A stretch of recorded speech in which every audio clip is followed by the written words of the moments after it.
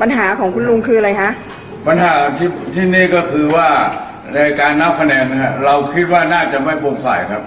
อ่าอันนี้ทางอำเภอสังขะอำเภอรมภูมิอำเภอสยโยกสามอำเภอเนี่ยลุงมีคะแนนอยู่ประมาณร้อยกว่าคะแนนครับ ซึ่งมันไม่น่าจะเป็นไปถึงขนาดนี้ครับ ลุงเรียกร้องที่ทำกินให้ชาวบ้านมา 28 ปี ปัจจุบันนี้ได้หมดแล้วนะครับอ่าทางเจ้าหน้าที่รัฐเนี่ย เขาคืนให้หมดแล้วครับ พื้นที่ทับซ้อนนี่ครับ มีมีการประชุมเมื่อวันที่ห้ายี่ห้ายี่ห้าธันวาคมสองห้าหกหนึ่งนะครับอ่าพลโดยมีพลเอกประวิตรวงษ์สุวรรณเป็นประธานครับอ่าแล้วชัดเจนครับ การแก้ปัญหาครั้งนี้ชัดเจนมากครับเราก็ผคิดมว่าเรียกร้องสองอำเภอแต่ปัจจุบันนี้ได้ทั่วประเทศครับ ออกมาทั่วประเทศเลยครับ การปรับปรุงแนวเขตที่ดินของรัฐแบบบูรณาการนะครับครับ เราก็คิดว่าเราน่าที่จะได้คะแนนมากกว่าใช่ใช่มันน่าจะได้มากกว่านี้ครับ ไม่ใช่แค่นี้ร้อยกว่าคะแนนนี่ โอ้ดีผมไม่ไปกินยาตายก็หน่อยหน่อยเดียวครับ เออ มันยังไงครับมันโอ้โหมันมันเหลือเชื่อนะฮะมันจะต้องมากกว่านี้ครับลุงคิดว่ามันเกิดจากปัญหาอะไรที่เราปัญหาก็คือมีอาจจะมีการชี้นำครับอืมจากทางเจ้าหน้าที่ของกระทรวงมหาดไทยครับ เพราะอะไรทำไมเจ้าหน้าที่เขาจะไปชี้นำให้ไปเลือกคนอื่นนะคะ อันนี้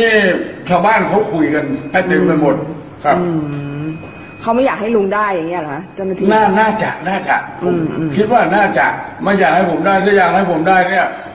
คือชาวบ้านอยากให้ได้ แต่ทีนี้ว่าผู้ที่ชี้นำเนี่ยไม่อยากให้ผมได้เขากลัวอะไรลุง นะฮะ เขากลัวว่าลุงเข้าไปแล้วจะเป็นยังไงเป็นสสแล้วเป็นยังไง มันมีคือผมพูดแล้วผมทำพูดจริงทำจริงผมก็บอกว่า ถ้าผมเนี่ยพรรคไทยศรีวิไลปราบโกงใช่ไหมฮะถ้าใครโกงเนี่ย ผมปราบทั้งหมดเลยพรรคเดียวกันผมก็ปราบนะฮะแต่ทีนี้ว่าถ้าเราไม่ได้เป็นศัตรูใครนะฮะจะเป็นพรรคไหนก็ช่างเราจะเป็นมิตรกับทุกพรรคแต่จะโกงให้เรารู้ถ้าโกงให้เรารู้เราปราบทุกคนนะไม่ว่าลูกไม่ว่าพ่อไม่ว่าเมียไม่ว่าอะไรทั้งสิ้นคือปราบหมดครับ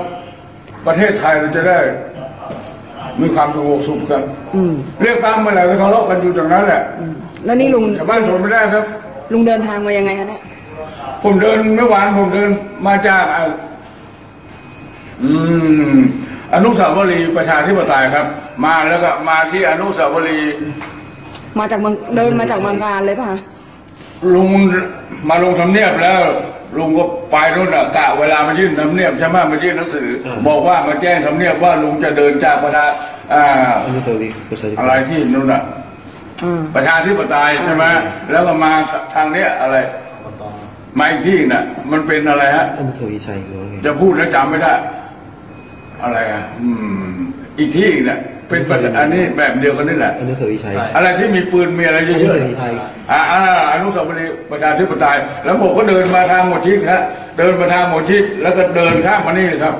อ่าผ่านตรงนี้มาใช้เวลาประมาณเก้าชั่วโมงกว่าครับ ออกจากโน่นสามโมงสามโมงเก้านาทีตามที่